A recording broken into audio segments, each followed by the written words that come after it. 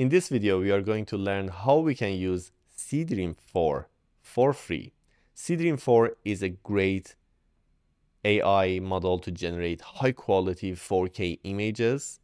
And till now that I'm recording this video, I can say it's the best AI model for generating images as I have used almost all of the models out there.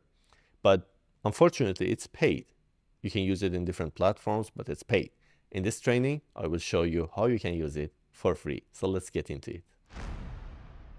So as I mentioned, if you want to use Seedream 4, it is paid. You can use it on different platforms. You can go to replicate.com and use it. Or even, for example, I have created a plugin inside Photoshop that let you use Seedream inside Photoshop, work with layers, right? All these images that you can see here was generated by Seedream, right? And, but it is paid. For every image that you generate, you have to spend three cent, right? It's not much, it's actually nothing comparing to what it will give you. But for some people, they may not have access to some payment plans or to some of these platforms. And that's why I decided to record this video and show you how you can use Seedream 4 for free. So all you need to do is to come to this website, lmarena.ai. And this platform let you test different AI models, practice, try them, compare them uh, with other models to understand these models much better. Now, every new model that come out, they will also add it to their list. And the way it works is that you have to come here to this website, click on Battle, and change Battle to direct chat. Then come here, click on this image icon.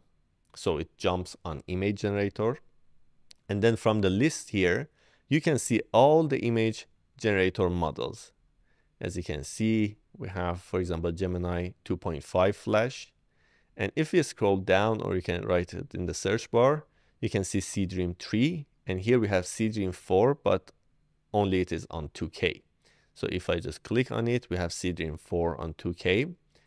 And uh, I can just write a prompt here generate an image of a glass of orange juice beside a pool in summer, right? I can write this and just send it.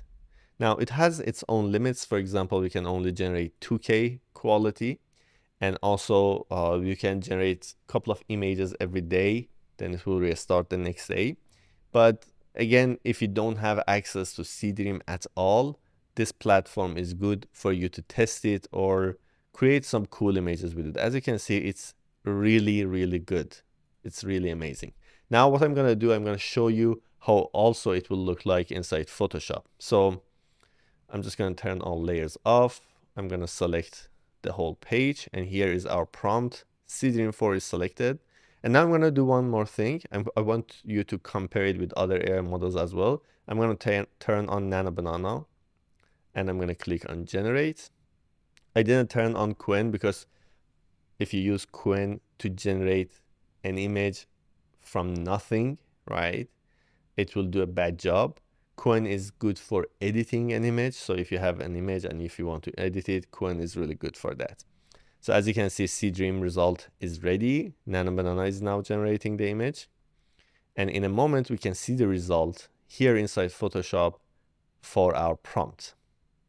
So this is the Nano Banana result. As you can see, it didn't uh, generate the image for the aspect ratio that we had, but it looks okay, right? And now here is the result for Seedream. And if I zoom in, you can see we can have a look at small details on the glass.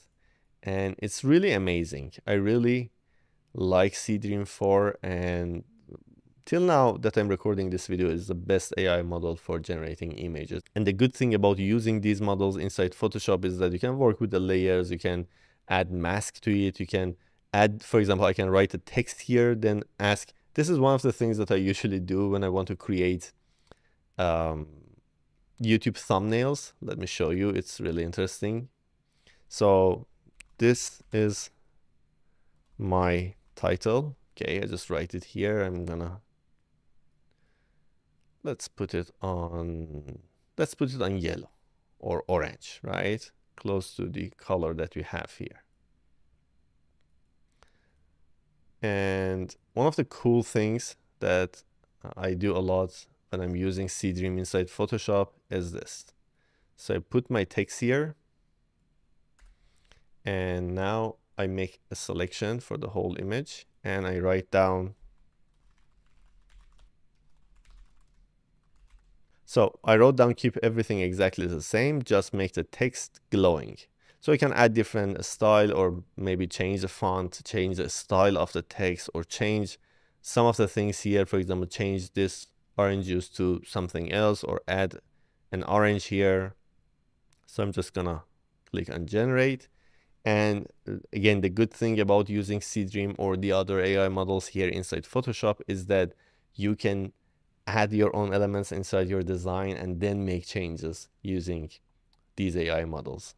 All right, the result is ready. Now, this was a simple example. We can say, for example, it's glowing and the light are on the, for example, other elements here or different changes, different professional looks. Uh, I have talked about it in my other videos. And if you are interested in this topic, don't forget to like this video. So I know you are interested. So I create more videos on this topic. And also don't forget to subscribe because in a couple of days, I'm going to publish more videos on Seedream. I will talk about tricks and strategies that you can use inside prompt to get a better result. It will be really good. I'm sure you're going to love it. So that was all for this training. If you have any question, you can write it down below in the comments or if you have any suggestions, I will read all of your comments and respond to all of them. I hope you liked this video and I look forward to see you soon on the next training.